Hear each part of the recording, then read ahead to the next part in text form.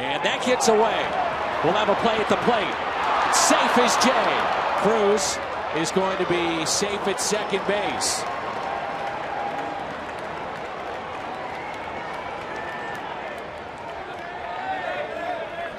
Cardinals strike first just like they did in game four.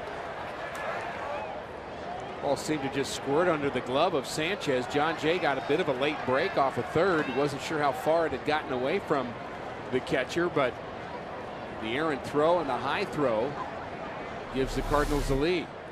There's the throw, and Leighton covering is the pitcher as well. If he's at the plate, he's out. Jon Jay's out. So both